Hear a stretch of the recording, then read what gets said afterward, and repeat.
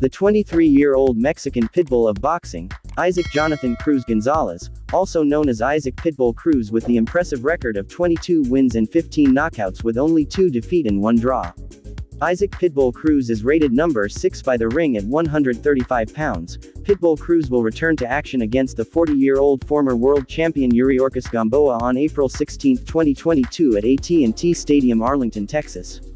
Isaac Pitbull Cruz dropping a competitive decision against three-division champion Gervonta Tank Davis last December 2021.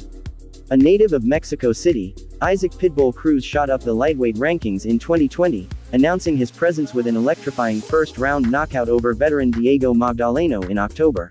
This four-fight fiesta, it's all Isaac Cruz! Right Isaac Pitbull Cruz followed that up in 2021 by winning a unanimous decision over previously unbeaten Matias Romero in March and by defeating former champion Francisco Vargas by decision in June. After making his U.S. debut in December 2019, Isaac Pitbull Cruz went unbeaten in his next four bouts, appearing on Showtime three times. Isaac Pitbull Cruz said, I can't wait to be back in the ring and to fight at AT&T Stadium, I love the fans in Texas, they always give me tremendous support. My promoter Manny Pacquiao, has fought at AT&T Stadium before and won both times. I'm excited to follow in his footsteps against a very accomplished former champion Yuriorkis Gamboa. I'm coming to show the fans why I'm one of the best lightweights in the world and to drive Gamboa into retirement on April 16. The 40 years old Cuban fighter and former unified featherweight champion, Yuriorkis Gamboa holding the IBF and WBA 126 pound titles between 2009 and 2011. A Cuban fighter faced the younger rising star of Mexico Isaac Pitbull Cruz in AT&T Stadium Arlington, Texas on April 16, 2022. Yuriorkis Gamboa lives and trains in Miami, Florida. He dropped a showdown against Terence Crawford before rebounding to win 7 of 8 fights.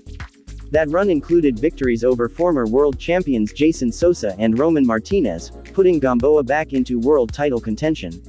In his last two fights, Gamboa has dropped contests against current lightweight world champions, losing via 12th round TKO to Gervonta Tank Davis in 2019 and by decision against Devin Haney in November 2020.